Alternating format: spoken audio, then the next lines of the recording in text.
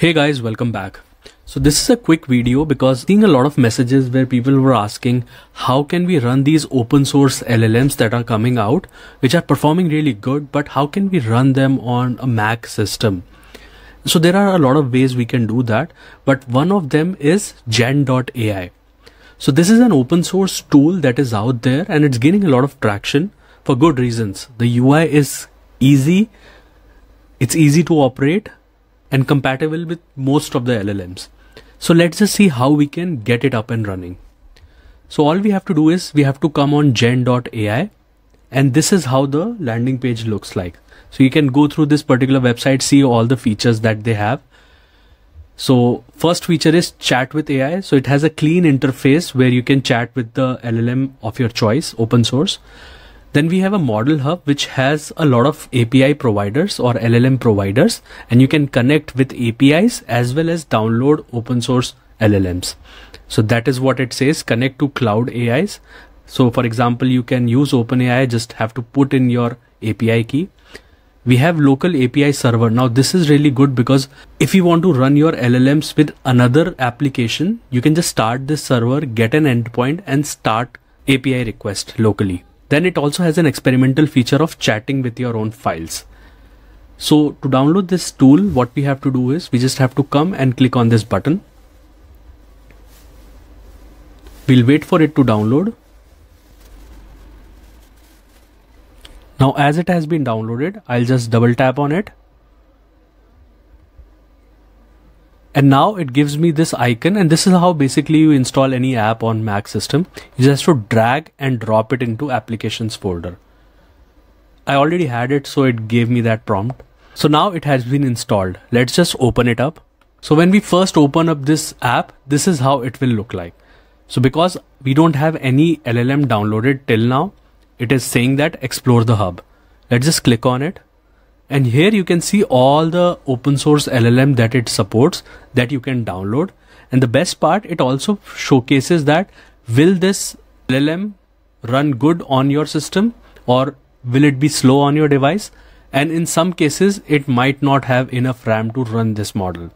So based on your own system specifications you can download LLMs and start working with it but for this demo, let's just pick up the most smallest one, which is Llama 3.2 1 billion instruct. It's a very small file, which is 1.23 GB. I'll click download and now it starts fetching the model files.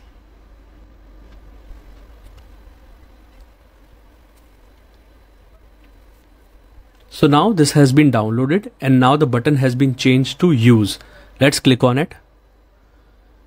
As soon as we do that, we can see that our model 3.2 has been selected. Net. Now let's ask a question. So it's starting the model and we can see that the assistant has started to give answer and it also showcases the token speed.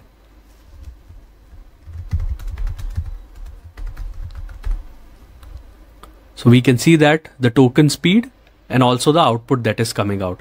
And mind you, this is running locally on the system because the model file has been downloaded. So you can use it without even the access of internet. If you want to start a new conversation, you just have to click on this button and we have a new conversation. Then you can manage your previous conversations from here. Now, if you want to go back to the model hub, you can just click on this hub and you are back to the place where you can download the model. Now let's see some of the settings. If I click on settings, here are all the settings that are available. So we can see that all of these model providers are there.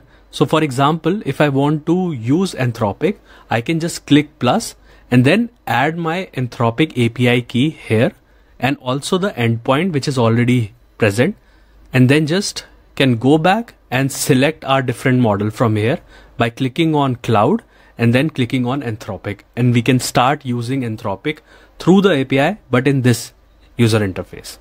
Similarly, we can have Cohere, Groq, Martian, NVIDIA, Mistral, OpenAI and OpenRouter.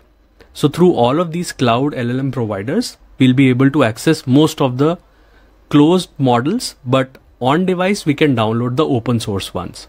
We can even change the parameters, which is frequency penalty, max tokens, presence penalty and all of these settings for each of the model that we are trying to use. So this was a quick video. I would encourage everyone to download this open source tool and start using it. I'm sure you'll like it. Thanks for watching. I'll see you in the next one.